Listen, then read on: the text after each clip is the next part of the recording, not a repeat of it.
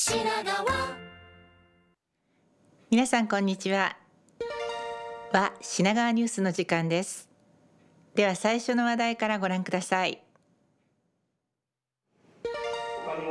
2月4日大崎ブライトコアホールで第12回ビジネス創造コンテストがオンラインで行われました。このコンテストは一般財団法人品川ビジネスクラブと品川区が共催。全国からビジネスアイデアを募集し優れた提案をバックアップすることで品川発ビジネスクラブ発となる新規ビジネスの創出を目的としています。今回は幅広い視点からさまざまな社会課題を解決するためのビジネスアイデアをテーマに全国から235件の応募がありこの日10組のファイナリストが最終プレゼンテーションを実施。次世代点眼薬で点眼困難者を失明から救えを提案した燕製薬 4i 開発事務所の草桶さんと桑野さんが最優秀賞を受賞しました。感謝申し上げたいと思います。本当にありがとうございました。また区内在住在学者を対象に募集した小学生以下の部中学生高校生の部の授賞式も実施。最優秀賞に輝いた2人を表彰しました。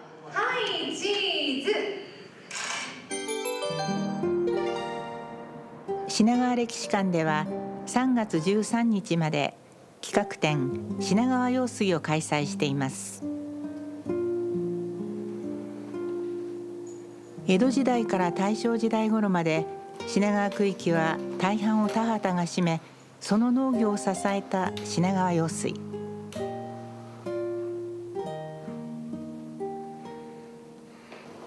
今回の企画展では品川用水の誕生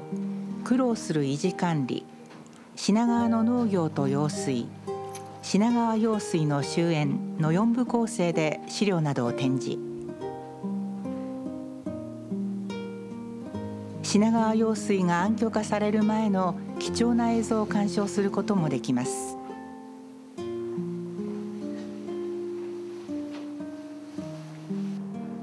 また品川用水の痕跡をたどる写真展示や5月1日オープンの品川区立環境学習交流施設エコル戸越の紹介コーナーも設置しています。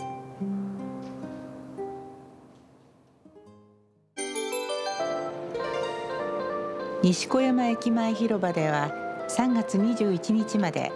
バレンタインデーとホワイトデーに向けたイルミネーションが開催されています。このイベントは品川区が主催。平成29年から始まり今年で6回目となります。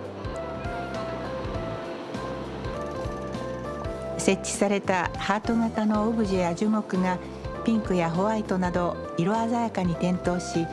西小山駅前は光のイルミネーションに包まれています。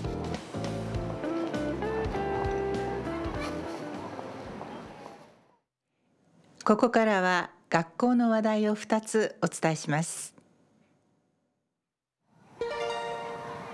2月5日山中小学校の6年生を対象に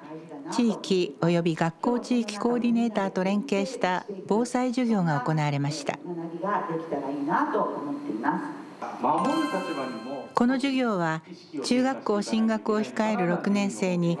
地域の一員として自分にできることを考えてもらうとともに災害に対する知識や技能を身につけることで危険予測能力と危機回避能力の向上を図り自分や家族の命を守りながらも要配慮者をサポートできる能力を育成することが目的です。はじめに6年生の研究授業土地の作りと変化で学んだ火山についてその被害と防災などについてまとめた提言を防災課の職員に手渡しました続いて大井三丁目町会の住友会長と学校地域コーディネーターの三原さんが講師となり東日本大震災発生時の様子を話したほか山中小学校の先生が東日本大震災発生時の同校の様子を撮影した動画を紹介。また大きな地震が起きた場合にライフラインが止まってしまうことや復旧までにどのくらいの期間がかかるのかなどを児童たちはクイズ形式で学びました。55日ぐらいも、戻らないタブレットを使用した体験型授業では水の配給はあるが容器がない電気が止まって真っ暗など災害発生後に起こりそうなシチュエーションでどんなものが役に立つのかをあらかじめ配られたカードの中から選び実際にどのように使うのかを実践これどう見える？食器がすべて割れてしまった場合には新聞紙やチラシなどで簡単に作ることができる箱が食器の代わりになることを学びました。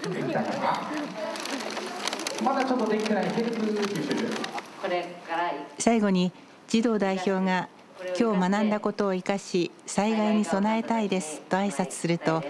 防災課から品川区防災キャラクターであるジージョくんの消毒液入りストラップが6年生全員にプレゼントされ防災授業は終了しました。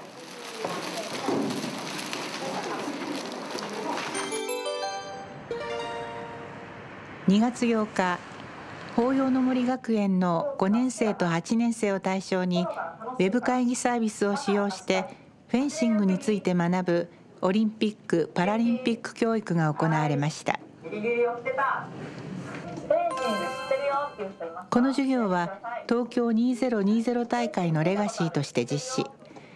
アスリートとの交流を通じて子どもたちに夢や希望を持ち続け目標に向かって努力する大切さを知ってもらうことが目的です。